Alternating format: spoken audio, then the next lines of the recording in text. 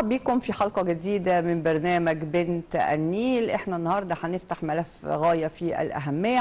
هنتحدث عن التحديات التي تواجه المرأة الإفريقية كيفية تنمية قدرات المرأة الإفريقية. مما لا شك فيه أن المرأة الإفريقية تواجه العديد من التحديات داخل مجتمعها.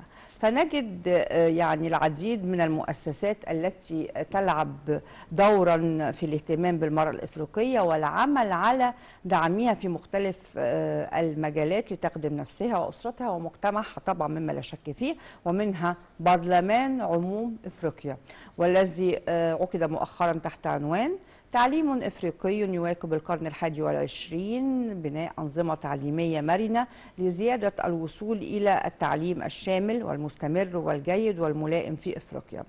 في حلقة هذه اليوم سنلقي الضوء على الدور الذي يقوم به البرلمان في دعم المرأة الإفريقية في مختلف المجالات حيث تشرف تشرفنا بالحضور اليومي في برنامج بنت النيل نموذج مشرف للمرأة المصرية وتمثيل نفخر به دوليا وإفريقيا معنا النائبة رندا مصطفى رندا مصطفى مستشار رئيس برلمان عموم إفريقيا ونائب رئيس تجمع السيدات بالبرلمان آه كما أنها أمينة المرأة المركزية بحزب حماة الوطن.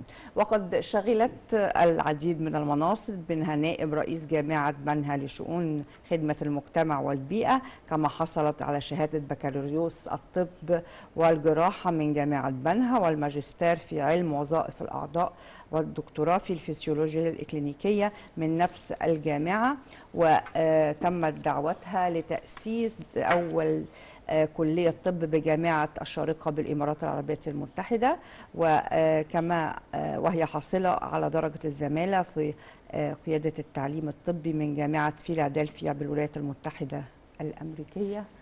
أرحب بحضرتك نموذج الحقيقة مشرف لبنت النيل وكذلك حضرتك نائب رئيس إقليم السيدات ببرلمان عموم إفريقيا ووكيل لجنة التعليم والبحث العلمي والاتصالات وتكنولوجيا المعلومات بمجلس الشيوخ ومستشار رئيس البرلمان لعموم إفريقيا.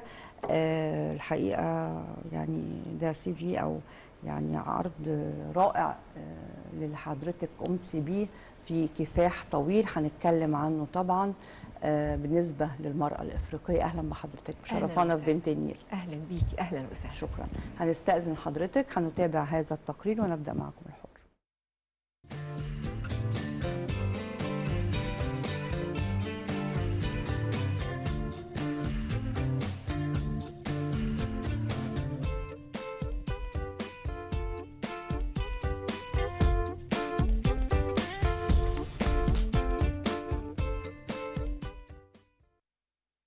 على الرغم من رحيل المحتل الأجنبي عن إفريقيا إلا أن الآثار التي خلفها ما زالت تطفو على الواقع السياسي والاجتماعي والاقتصادي وسائر مناحي الحياة. والمرأة الإفريقية ليست معزولة عن مشكلات القارة حيث تعاني أوضاعا إنسانية قاسية. وتشهد تدنيا في مجالات التعليم والصحة والاقتصاد وغيرها فهي تفتقد الكثير من مقومات الحياة السلوكية والمعرفية فضلا عن تعرضها إلى العنف بأشكال متعددة كما تعاني المرأة الإفريقية من فقدان الأمن الاقتصادي بشكل كبير ويتجلى ذلك في الفقر. فبالرغم مما تنعم به إفريقيا من ثروات ضخمة نجد أن معظم الأفارقة يعيشون تحت خط الفقر. وتعد المرأة الإفريقية أكثر النساء في العالم تحملا للأعباء القاسية وخصوصا في إعالة الأطفال في ظل غياب الزوج والمعيل بسبب الموت أو الطلاق أو الهجر أو غير ذلك من الأسباب كما تشكل المرأة أغلبية المشردين واللاجئين من الحروب. وتعيش المرأة الإفريقية تحت ضغوط نفسية واقتصادية قاهرة نتيجة لتحملها العبء الأكبر لشؤون الأسرة مع غياب شبه كامل لدور الرجل في تحسين المستوى المعيشي لعائلته. وتعاني المرأة الإفريقية أيضا من الحرمان من أبسط متطلبات الحياة بسبب الظروف المعيشية القاسية في بيئة تندر فيها سبل العيش الكريم في بعض الدول الإفريقية. ومن بين الحلول المطروحة لتنمية قدرات المرأة الإفريقية توفير فرص عمل للمرأة وضمان المساواة في الحصول على الوظائف وتنمية مهارات العمل للمرأة بالتدريب والتأهيل المستمر. من أجل زيادة الإنتاجية وكذلك تشجيع مشاريع التشغيل الذاتي للمرأة من خلال صناديق تستهدف تحقيق التنمية فضلا عن إيجاد نظم وشبكات فاعلة للضمان الاقتصادي والتكافل الاجتماعي.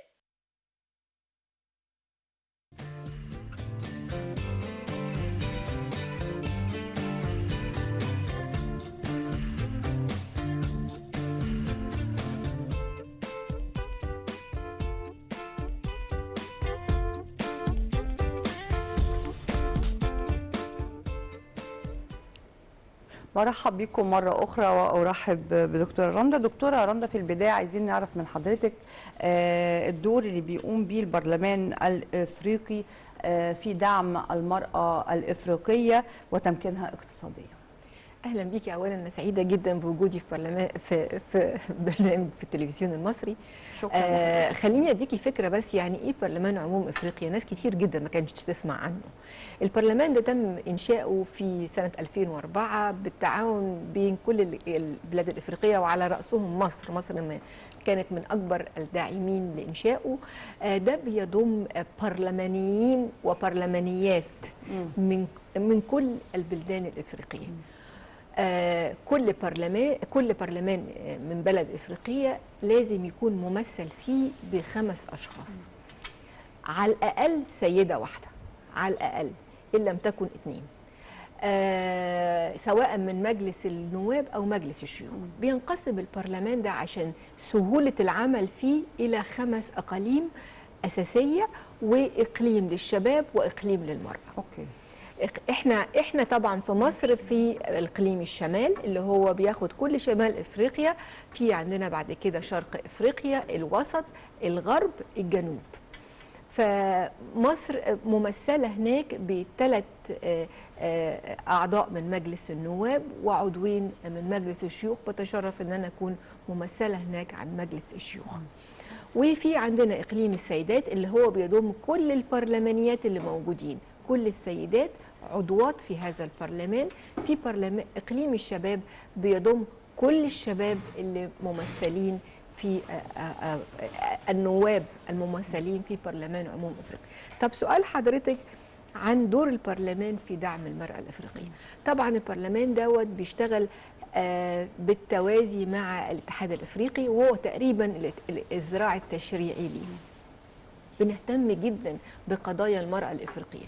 المرأة الأفريقية بتمثل قطاع كبير جدا من الشعب في, في إفريقيا آه، بترزح زي ما شفت في التقرير تحت الكثير من المشاكل. عندها مشاكل في التعليم عندها مشاكل في الصحة عندها مشاكل اقتصادية عندها مشاكل في العنف ضد المرأة كتير. آه، البرلمان بيقوم بمناقشة كل هذه ال- ال- ال- المشاكل بالتعاون مع كل الجهات المنحة وكل المؤسسات في القارة. وبنحاول إن إحنا نقدم أفضل الطرق لدعم المرأة في هذه المجالات. وأيضا بنحاول إن إحنا نعمل نوع من التعاون والتكامل بين البلدان الإفريقية ومنهم مصر طبعا. مصر ليها دور كبير جدا في دعم المرأة الإفريقية والبلدان الإفريقية في سائر ال- ال- ال- البلدان. طيب. حضرتك يعني آه، شرحتي في عجالة آه، التقسيمة الجغرافية. طيب عايزين نعرف من حضرتك هذه التقسيمة الجغرافية آه، بتختلف طبعا المشاكل من من الجنوب عن الشمال. فممكن نعرف من حضرتك دور البرلمان في تحديد المشاكل. بالنسبة للتقسيمة الجغرافية لقارة أفريقيا.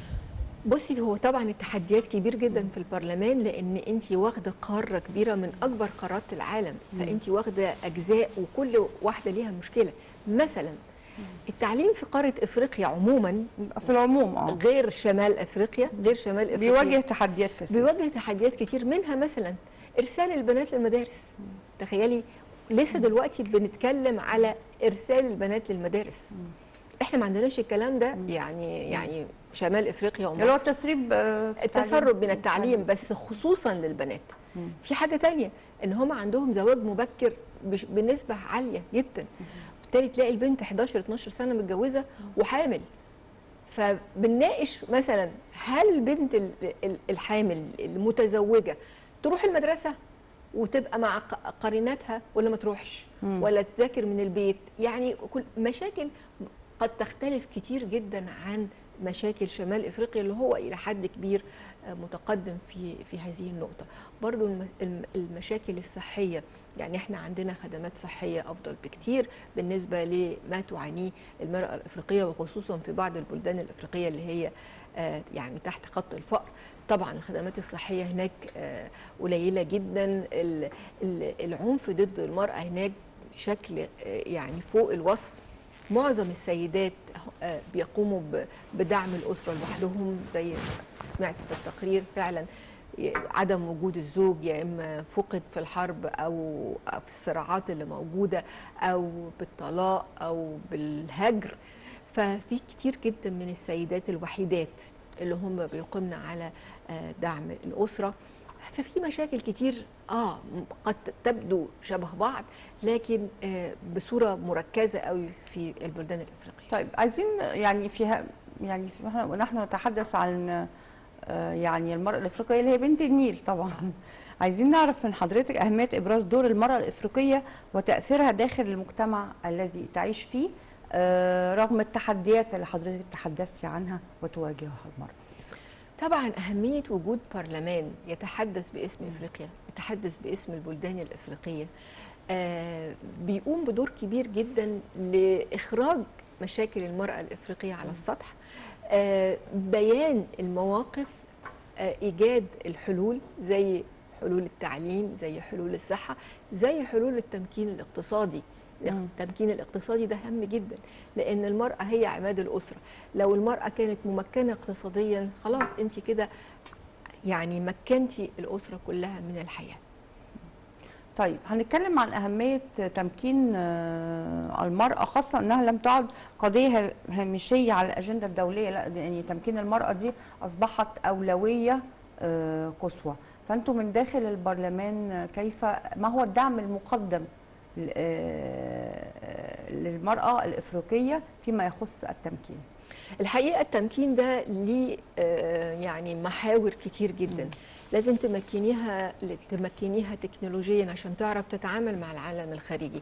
لازم تمحي اميتها ده نوع من أنواع التمكين. لازم صحتها تبقى جيدة ده نوع من أنواع التمكين ويأتي في الآخر التمكين الاقتصادي. فكل المشاكل دي بتنا- بتناقش. آه، ابتدينا نشتغل في إقليم السيدات على آه، التمكين التكنولوجي للمرأة و- آه، ومحو أميتها التكنولوجية. ابتدينا كمان ودي كانت أول حاجة آه، فتحناها ال- الدورة اللي فاتت وهنكمل الكلام فيها الدورة القادمة إن شاء الله التي سوف تبدأ في 29 أكتوبر. هنتكلم على إنشاء منصة إلكترونية لتسويق منتجات المرأة الإفريقية في كل بلدان إفريقيا.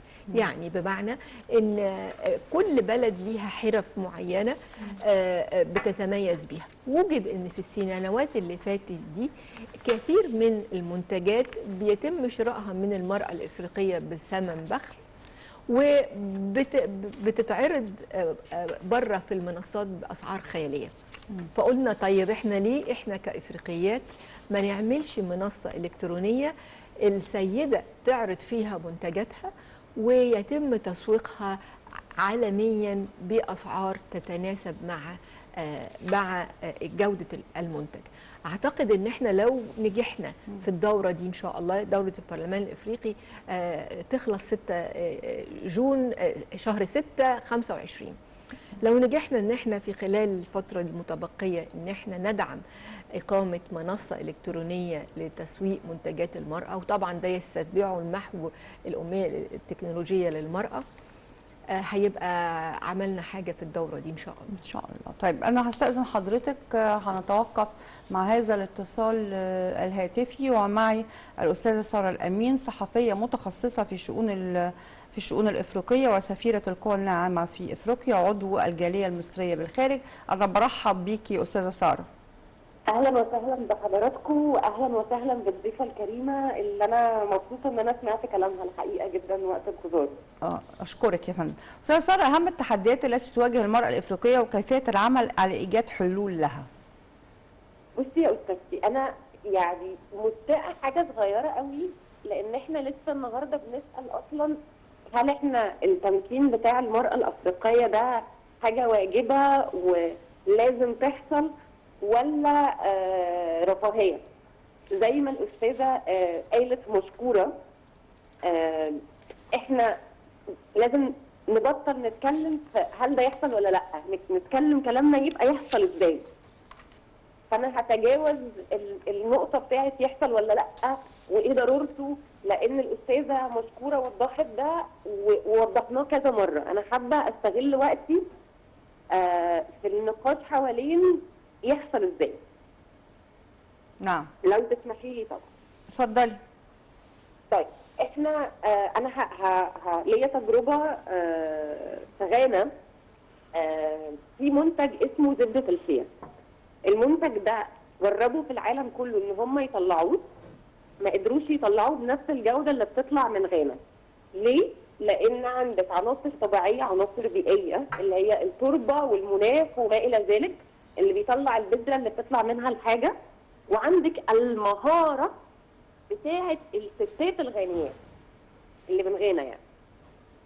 فمهارتهم في إن هم يسبقوا المنتج لحد ما يبقى زبدة هو ده ال key point of selling هي دي الحاجة اللي بتخليه منتج مميز ف آه، زي ما الدكتورة قالت إن آه، فعلا الحاجات بتروح آه، بره فرنسا بتستوردها وحاجات كثيرة كثيرة كثيرة تبقى الحاجة واقفة لك على في بلدها بدولار وتروح تلاقيها ب 100 دولار. طب ده يحصل إزاي؟ عن طريق التسوق الأفريقي. يعني إيه؟ يعني أنت عندك know how في مصر كبيرة جدا جدا بحكم إن إحنا من الدول الأفريقية الجيدة في التعليم بالمقارنة ببقية الدول. ابعتي ناس تفهموا تتكلم على ال marketing ابعتي ناس دي تعمل deep search على إيه أسباب المشاكل. يعني في مرة من المرات أذكر يعني إن أنا كنت في كينيا.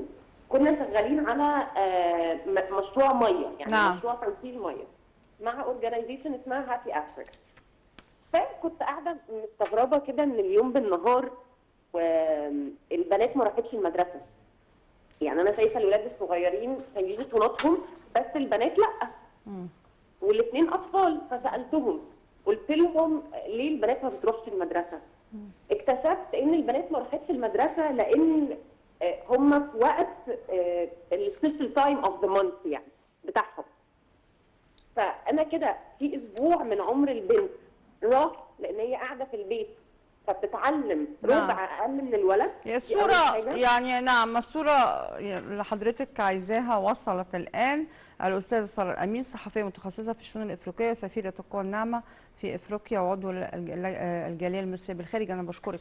أنا شايفة يا دكتورة رندا ليكي تعليق على كلام الأستاذة سارة والله أنا شايفة إن الأستاذة ساره بتتكلم بنفس التوازي اللي أنا بن- بنذكره فعلا. عندنا مشكلة في آه، تسويق المنتجات الإفريقية لأنها منتجات عالية الجوده جدا بتتميز بال- بالأصالة بتتميز إن هي طالعة ببيئه طبيعية كمان لما تشوفي منتجات كل بلد قد كده جميلة هي مشروعات منتشرة. ومتناهية الصغر.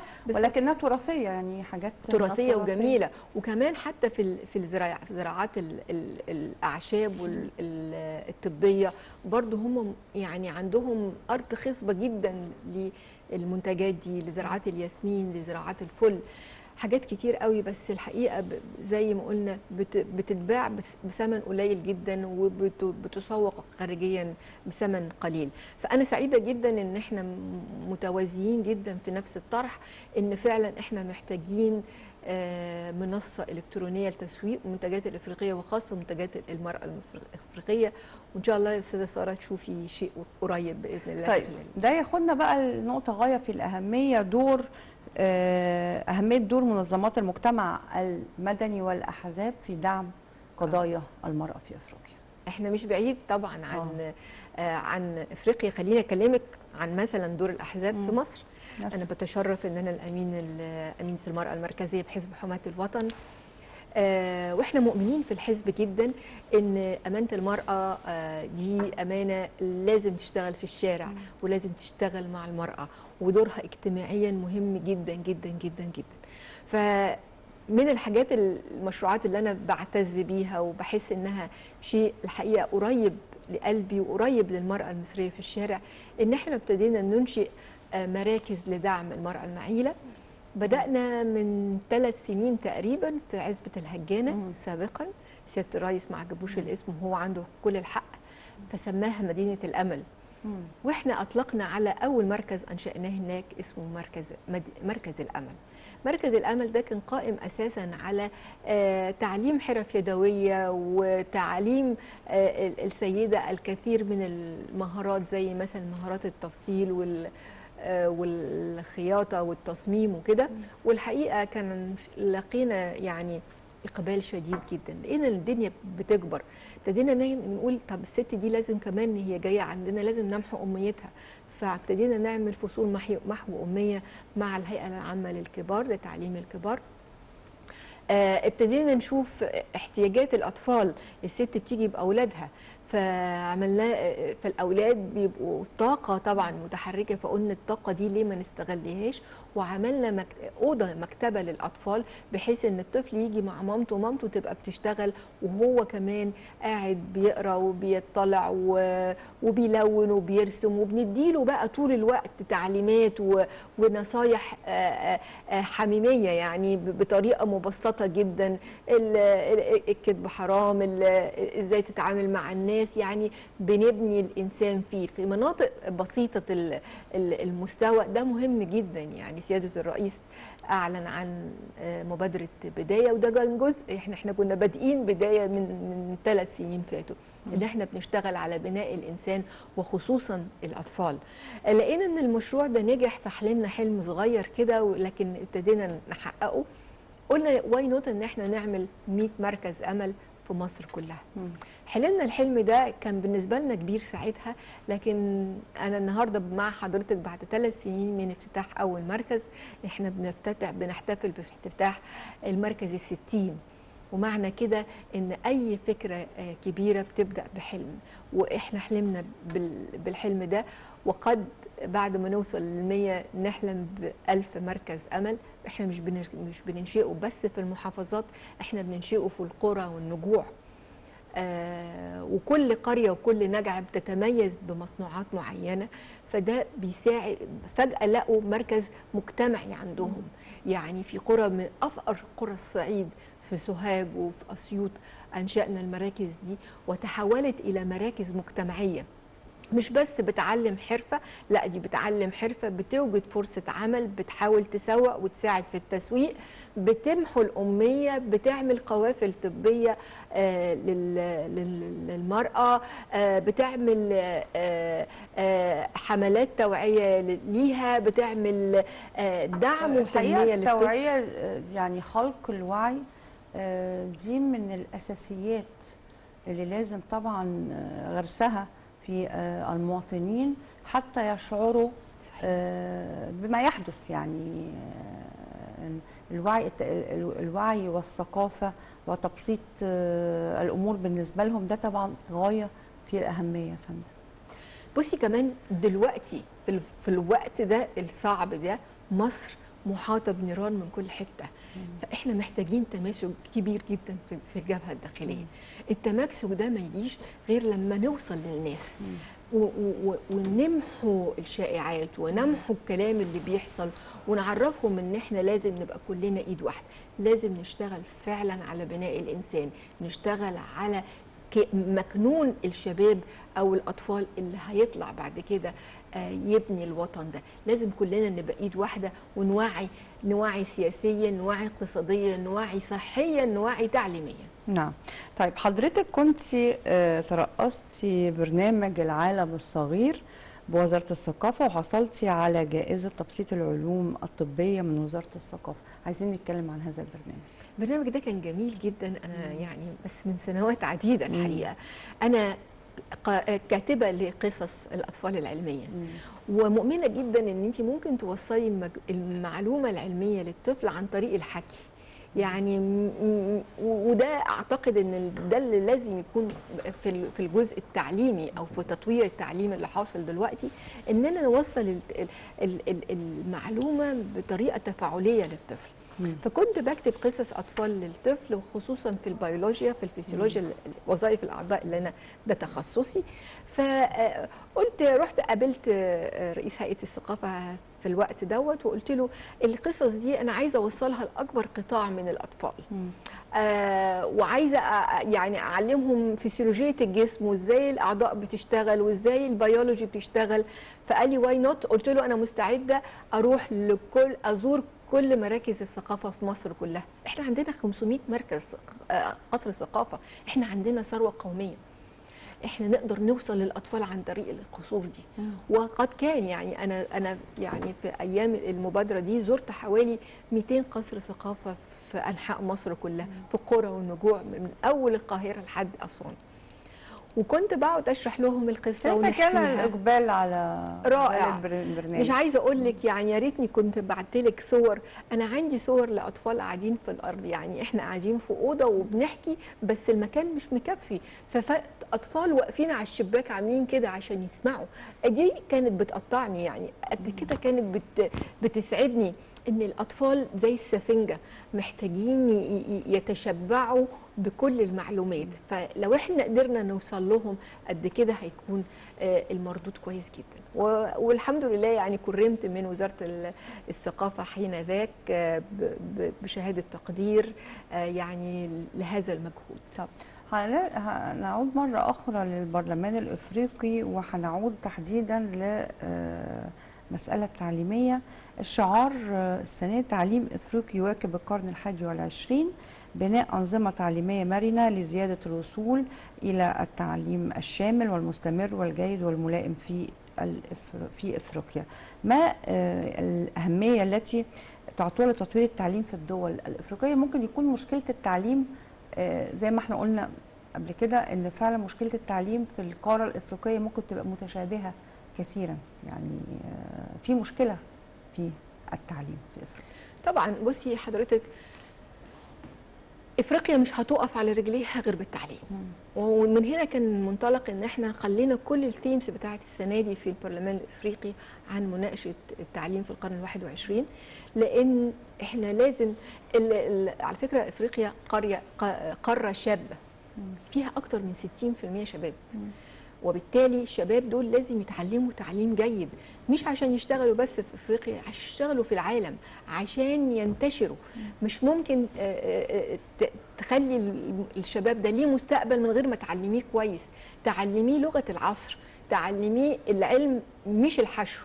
تعلميه التعليم التفاعلي تعلميه القدرة على حل مشاكله تعلميه القدرة على اتخاذ القرار. الحاجات دي كلها بتغير من مفهوم وشخصية الطفل والشاب وبالتالي تخليه يقدر يكافح ويقدر ينافس في سوق ال- ال- العمل الدولية. وهو ده ال- ال- اللي بنركز عليه في آه، البرلمان الحقيقة والدول الإفريقية كلها دلوقتي فيها صحوة كبيرة جدا. يعني إحنا زي ما مصر برضو مهمومين بمشاكل التعليم مم. وتطويرها فتقريبا تقدري تقولي إن كل دول افريقيا مهمومين بنفس المشاكل لما بتطلعوا يعني في مخرجات طبعا أكيد بعد بتقوموا بمؤتمرات وأكيد ندوات ثقافية مختلفة آه، المخرجات آه، عندما تحدث وبيكون يعني آه، في شكل توصيات إزاي بتفعلوها على أرض الواقع بعد التوصيات؟ شوفي إحنا البرلمان مش مهمته إن هو يفعل لكن. مهمته إن هو يدرس يدرس ويقترح آه، تشريعات. ف والحقيقة ده من خلال أعضاء البرلمان من خلال الخبراء اللي بنجيبهم مش بس من إفريقيا بنجيبهم من كل أنحاء العالم بنقعد نتكلم ونطلع توصيات نبعتها لبرلماناتنا في الدول الإفريقية. بحيث إنها يؤخذ بيها في التطوير تطوير مثلا منظومة الصحة تطوير منظومة التعليم تطوير منظومة التمكين الاقتصادي تطوير منظومة الزراعة تطوير منظومات النقل تنظيم تطوير منظومات الطاقة. إحنا عندنا 14 لجنة آه، بتناقش آه، آه، كل المحاور والمشاكل الافريقيه تطوير مشاكل حتى المسنين. عندنا أنا بتشرف إن أنا عضوه في لجنة المسنين وذوي الهمم. مم. والحقيقة ذوي الهمم كمان بياخدوا قطاع كبير جزء كبير جدا ده من مهم قوي يا فندم. آه. المرة دي كنا بنتكلم عن الأطفال الالبينو مثلا. أطفال اللي هم آه، عندهم مشكلة في آه، في صبغة الميلا- الم- الميلاتونين في الميلانين في جسمهم. وبالتالي بيبقوا كلهم أبيض ما عندهمش صبغة ما عندهمش شعر أسود كلهم أبيض. المشكلة بتاعتهم الأساسية في النظر ما بيقدروش يستحملوا الشمس ومشكلتهم كمان إن الشمس بتبقى حامية جدا على جلودهم. دي مشكلة خدت مننا جزء كبير جدا والحقيقة ألقت الضوء ورنت جرس على إن الأطفال دول قد ما يكونوش في مقدمة الأطفال ذوي الهمم اللي إحنا بنهتم بيهم إحنا بنهتم بحاجات إعاقات أخرى لكن الإعاقة دي لازم آه، نهتم بيها. ومن هنا الحقيقة زي ما قلت لحضرتك مصر لا تختلف عن أفريقيا ولا تفترق. آه، أما جيت هنا عملنا مبادرة لدعم الأطفال الألبينو في أمانة المرأة بحماية الوطن بحزب حماية الوطن إن إحنا بنجمع دلوقتي كل الأطفال اللي في مصر وبنشوف احتياجاتهم بنشوف الأطفال اللي مش قادرين على إن هم يعملوا نظارات ودي life saving بالنسبة لهم. بنشوف الأطفال اللي هم مش قادرين يدعموا الكريمات الواقيه للشمس. فالبرلمان الإفريقي رن بجرس على إعاقة آه، يمكن ما كناش مدينها اهتمام أكبر مثلا في مصر. وكذلك في معظم البلدان الإفريقية. اذا في عندنا 14 لجنة في آه، قارة إفريقيا بتناقش وتهتم بكل الموضوعات اللي بتهم ال- الشعب الإفريقي. طيب آه في طبعا تحديات كتير بتقابل القارة الإفريقية. آه من رصد حضرتك آه لتلك التحديات إيه أكبر تحدي بتواجهه القارة الإفريقية؟ تحديات كتير. آه. منها مشكلة الغذاء. آه، إفريقيا فيها آه، يعني مية وفيها آه، جو كويس وفيها أماكن كتير بس فيها أماكن كتير متصحرة. فيها أماكن كتير محتاجة تستغل أكثر في أماكن كتير جدا فقيرة جدا ومش قادرين يعملوا حاجة. إحنا محتاجين نتكامل ونحب بعض ونبطل نحارب ونعتبر إن قارة إفريقيا آه، مكان واحد. يعني الشعار بتاع البرلمان أفريكا وان فويس. وان صوت واحد. صوت واحد إفريقيا واحدة. أنا نفسي نوصل كلنا إلى إن إفريقيا دي لو القارة دي ازدهرت هنزدهر كلنا. إفريقيا فيها آه، معادن طبيعية كتير جدا آه، طبعا معظمها مستغل بره بت- بتص- تصدير المواد خام.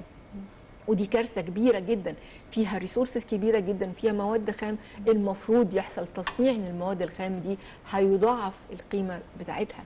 آه، أفريقيا عندها مشكلة في الصحة إلى حد كبير. الرعاية الصحية مش ممكن تبني مكان من غير ما يكون الإنسان قادر إن هو يقوم يشتغل. الرعاية الصحية مهمة جدا. الأمراض المتوطنة مهمة جدا. زي ما قلنا التعليم التمكين الاقتصادي العنف ضد المرأة والعنف ضد الأطفال والأمن. دي كلها مشاكل كبيرة جدا. آه، يعني يا رب إن شاء الله في القرن الواحد وعشرين وفي خلال السنوات القادمة آه، أفريقيا تتقدم أكتر ونقدر نتكامل أكتر ونبقى وحدة واحدة إن شاء الله.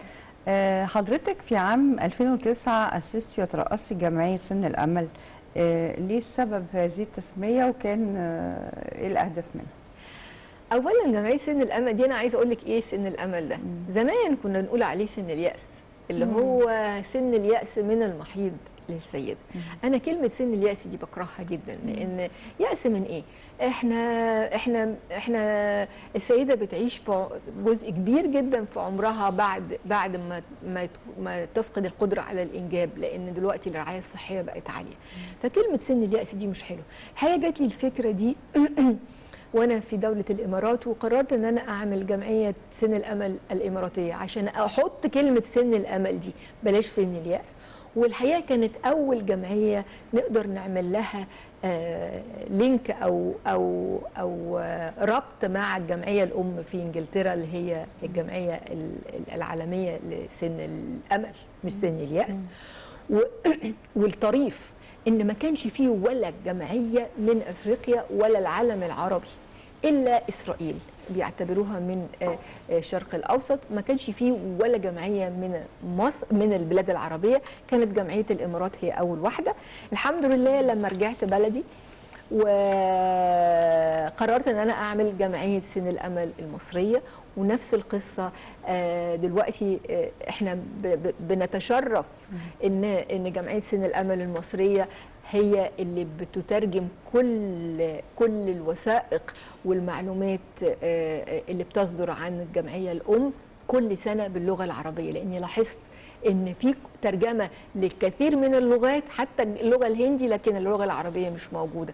فبدأنا إن إحنا نساهم في ترجمة باللغة العربية من أيام آه، الجمعية الإماراتية واستمر وخدت ال- ال- القيادة بقى بعد كده لما جيت مصر جمعية سن الأمل المصرية آه، اللي بتترجم كل الجايد لاينز بتاعت الجامعة الحقيقة إحنا فخورين بيكي آه، نموذج مشرف للمرأة المصرية بنت النيل في نهاية هذا اللقاء الدكتورة النائبة رندا مصطفى مستشار رئيس برلمان عموم إفريقيا ونائب رئيس تجمع السيدات بالبرلمان وكيل لجنة التعليم والبحث العلمي بالمجلس الشيوخ آه، كما أنها أمينة المرأة المركزية بحزب حماه الوطن آه، وشغلت العديد من المناصب منها رئيس جامعة بنها لشؤون خدمة المجتمع والبيئة كما على شهادة بكالوريوس الطب والجراحة من جامعة بنها والماجستير في علم وظائف الأعضاء والدكتوراه في الفسيولوجيا الإكلينيكية من نفس الجامعة وحاصلة على درجة الزمالة آه، في قيادة التعليم الطبي من جامعة فيلادلفيا بالولايات المتحدة الأمريكية ونائب رئيس إقليم السيدات برلمان عموم إفريقيا. أنا بشكرك جدا على هذه المعلومات ونتمنى لك يعني النجاح المستمر زي ما إحنا قدمنا في آه، حضرتك آه، كنموذج مشرف لبنت النيل. وأنا سعيدة جدا بوجودي في البرنامج وسعيدة إن أنا مصرية وسعيدة إن أنا بنت النيل. شكرا لحضرتك يا فندم. شكرا. مشاهدينا الكرام في كل مكان وصلنا الآن إلى ختام هذه الحلقة من برنامج بنت النيل. آه، لكم تحت كل فريق العمل وإلى اللقاء.